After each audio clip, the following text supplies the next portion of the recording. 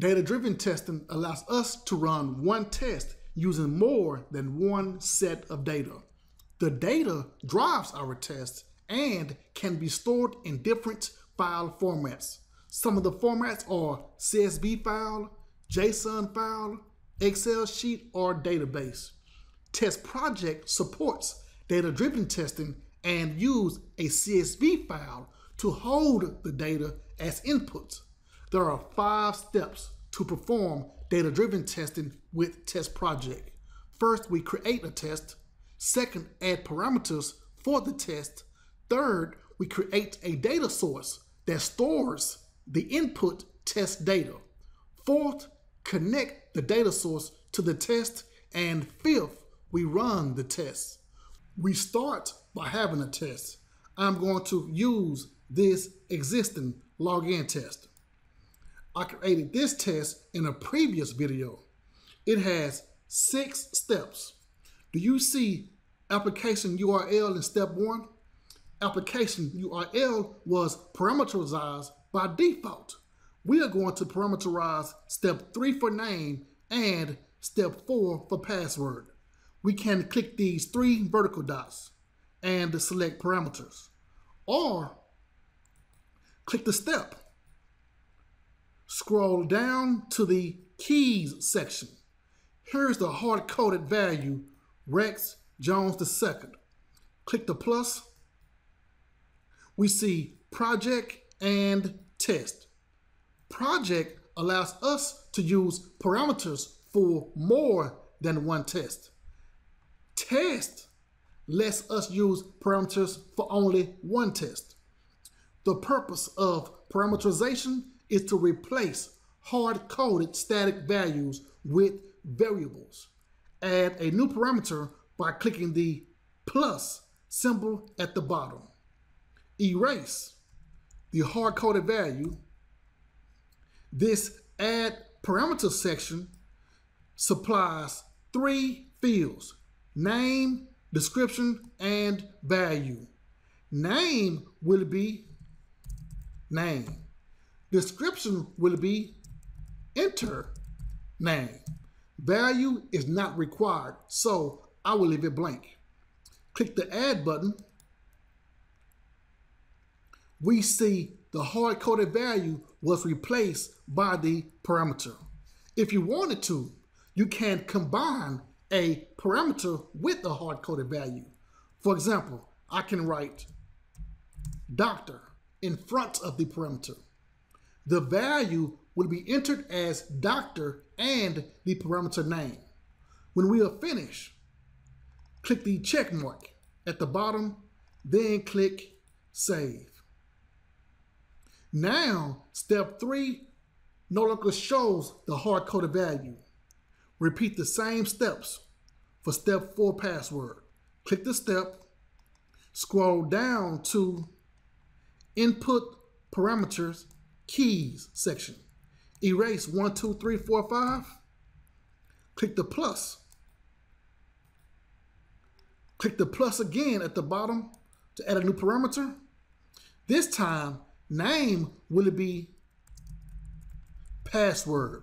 Description, enter password. Value, one, two, three, four, five. We can hide the value by making it a secret. Then click add. Next, we click the check mark and click save. We can also add a parameter to a validation step. Step six validates the greeting name is correct. We see the validation section has contains Rex Jones II select and remove the hard-coded value. Then select name. Check mark to lock in the changes, then save. Steps three and step four are parameterized with input data. Step six has a validation parameter. TestProject also allows output parameters. Click the three vertical dots, Then select input output. And here's the test output parameters. The benefit of output parameters is when you want to get information from a test, then store that information. You can use that information for another test. Save and exit. Now, let's create the data source. Go to these three horizontal dots, then select Data Source Template. A CSV file opens up. The first row column is application URL. We don't need that step. So we remove that default parameter. Let's add five default sets. Name is Joe Doe. Password is 54321. Jane Doe. Password is 12345. How about James Doe? Password 98765. Janice Doe. Password is 87654. Last is John Doe. Password 12345. Only John Doe and Jane Doe will pass because they have the correct password. Save.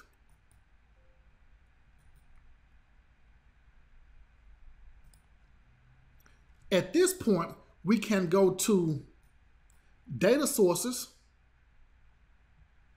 then add a data file or add a new data source.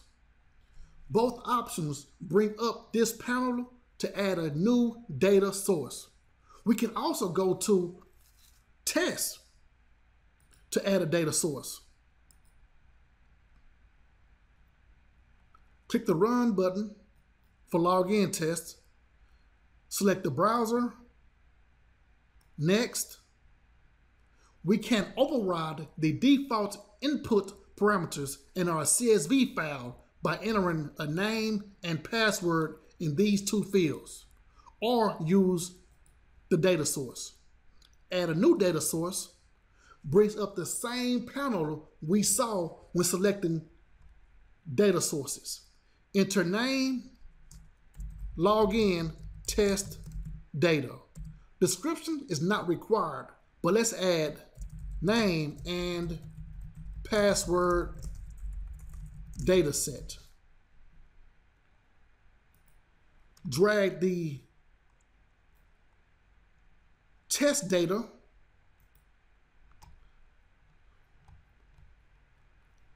then click create. That's it. Now let's run our test. You see, I click run one time, but there will be five iterations.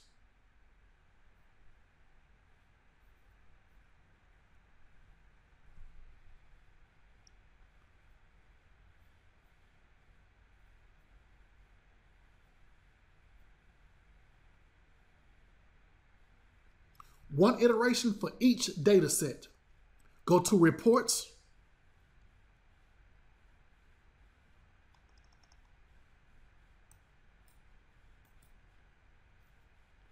select login test.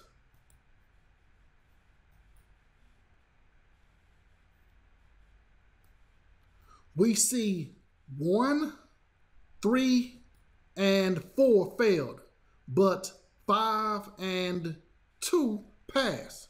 Let's look at this summary report.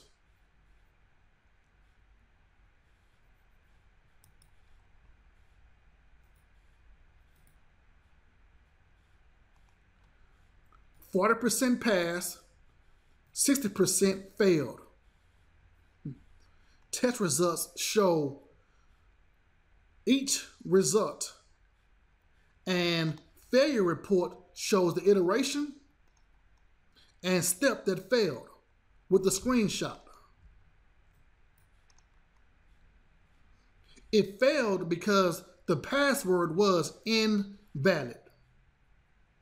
Next, I'm going to show you how to perform cross-browser testing. Books available in paperback, ebook, and PDF. All Part 1 ebooks and PDF documents are free. Programming books for UFT. Programming books for Java. Here's the Selenium Automation book. And TestNG. Subscribe to get notification of future videos.